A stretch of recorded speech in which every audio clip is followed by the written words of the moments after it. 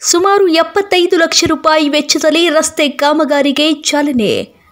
ಮಹಾರಾಷ್ಟ್ರದ ಕೋಳಕಿ ಗ್ರಾಮದಿಂದ ಕೆಳೇಗಾಂವ್ ಬಸವೇಶ್ವರ ದೇವಸ್ಥಾನದವರೆಗೆ ಸುಸಜ್ಜಿತ ರಸ್ತೆ ಕಲ್ಪಿಸುವ ಉದ್ದೇಶದಿಂದ ಸುಮಾರು ಎಪ್ಪತ್ತೈದು ಲಕ್ಷ ರೂಪಾಯಿ ವೆಚ್ಚದಲ್ಲಿ ಕಾಮಗಾರಿಗೆ ಚಾಲನೆ ನೀಡಿ ಮಾತನಾಡಿದ ಮಾಜಿ ಸಚಿವ ಶ್ರೀಮಂತ್ ಪಾಟೀಲ್, ಕೆಳೇಗಾಂವ್ ಬಸವೇಶ್ವರ ಯಾತ ನೀರಾವರಿ ಕಾಮಗಾರಿ ಈಗಾಗಲೇ ಅಧಿಕಾರಿಗಳ ಜೊತೆ ಚರ್ಚಿಸಿ ಕಾಮಗಾರಿ ಚಾಲನೆಯಲ್ಲಿದ್ದು ಬಹುಬೇಗ ರೈತರಿಗೆ ನೀರು ಒದಗಿಸುವ ಕಾರ್ಯ ಆಗುತ್ತದೆ.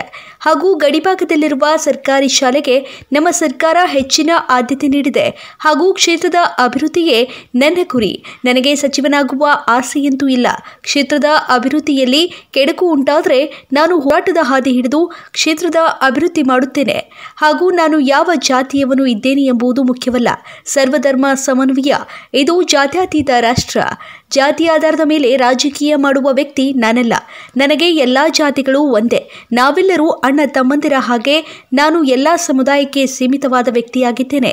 ಕ್ಷೇತ್ರದ ಅಭಿವೃದ್ಧಿಯಲ್ಲಿ ಜನತೆಯ ಆಶೀರ್ವಾದ ನನ್ನ ಜೊತೆ ಇರಲಿ. ಮುಂದಿನ ದಿನಗಳಲ್ಲಿ ಕ್ಷೇತ್ರ ಅಭಿವೃದ್ಧಿ ಪದದಲ್ಲಿ ಸಾಗುತ್ತದೆ ಎಂದು ಮಾಧ್ಯಮಕ್ಕೆ ಪ್ರತಿಕ್ರಿಯಿಸಿದರು.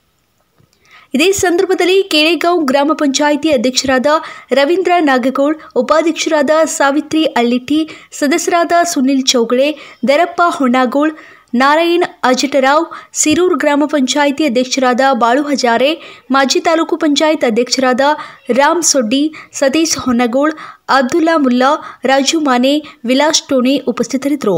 Laxman Koli M two TV news Athani. ಇವತ್ತು ನಾವು ಕೆಳೇಗಾವ್ ಗ್ರಾಮದಲ್ಲಿ ಕೆಳೇಗಾವ್ ಕೊಕ್ಕಳೆ ರಸ್ತೆಯದು ಬಹಳಷ್ಟು ನಾದುರುಸ್ತಾಗಿತ್ತು ಅದಕ್ಕೆ ನಾವು ಎಪ್ಪತ್ತೈದು ಲಕ್ಷ ರೂಪಾಯಿ ಮಂಜೂರು ಮಾಡಿ ಪಿ ಎಂ ಜಿ ಎಸ್ ವೈದಿಂದ ಈ ಕೆಲಸ ಇಲ್ಲಿ ಮಾಡ್ತಿದ್ವು. ಬೇರೆ ಬೇರೆ ಕಡೆ ಮೂರು ನಾಲ್ಕು ಕಡೆ ಮಾಡಿದ್ವು ಆದರೆ ಇದು ರಸ್ತೆ ಅತಿ ಕೆಟ್ಟಿತ್ತಂತೇಳಿ ಅದೆಲ್ಲ ಕ್ಯಾನ್ಸಲ್ ಮಾಡಿ ಎಲ್ಲ ದುಡ್ಡು ಒಂದು ಕಡೆ ತಗೊಂಡು ಎಪ್ಪತ್ತೈದು ಲಕ್ಷಕ್ಕೆ ಸುಮಾರು ಎರಡು ಕಿಲೋಮೀಟರ್ ಮ್ಯಾಗ ಸ್ವಲ್ಪ ಅಲ್ಲಿ ತನಕ ಇದಾಗ್ತದೆ ಸುಮಾರು ಎರಡೂವರೆ ಕಿಲೋಮೀಟರ್ ಆಗ್ತದೆ. ಇನ್ನೂ ಮುಂದೆ ಒಂದು ಕಿಲೋಮೀಟ್ರ್ ದೀಡ್ ಕಿಲೋಮೀಟ್ರ್ ಉಳಿದ್ವಿ ಅದು ಕೂಡ ನಾವು ಬೇರೆ ಫಂಡ್ ತಂದು, ಅದು ಕೂಡ ಒಂದು ಬರುವ ಒಂದು ಎರಡು ಮೂರು ದಿನದಲ್ಲಿ ಮಾಡಿಕೊಡ್ತೀವಿ. ಮತ್ತು ನಾವು ಇವತ್ತು ಕೆಳಗಾವಿರಲಿ ಇಲ್ಲಿ ಅಲರ್ಟ್ ಇರಲಿ ಶುರು ಇರಲಿ, ಎಲ್ಲ ಕಡೆಗಿಂತ ಬೇರೆ ಬೇರೆ ಮಂಜೂರಾಗಿದ್ದ ಕೆಲಸದಲ್ಲಿ ನಾವು ಪ್ರಾರಂಭ ಮಾಡ್ಕೊಂಡಿದ್ದೀವಿ.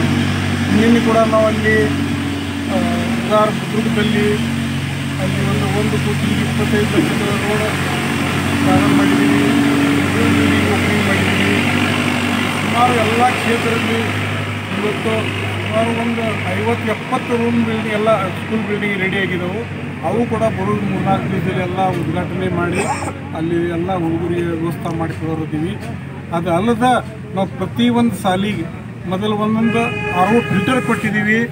ಈಗ ಒಂದು ಡಿಜಿಟಲ್ ಕ್ಲಾಸ್ ಕೂಡ ಪ್ರತಿಯೊಂದು ಸಾಲಿಗೆ ಮಾಡೋದು ಒಂದು ದೊಡ್ಡ ಪ್ಲ್ಯಾನ್ ಅದ.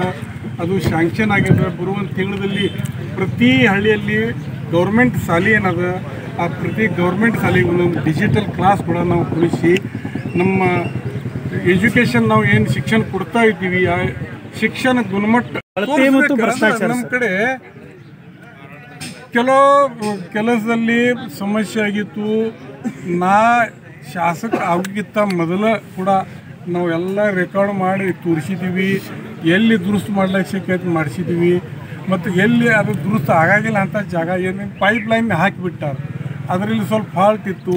ಖರೆ ಅದೇನೂ ಮಾಡ್ಲಿಕ್ಕೆ ಬಂದಿಲ್ಲ.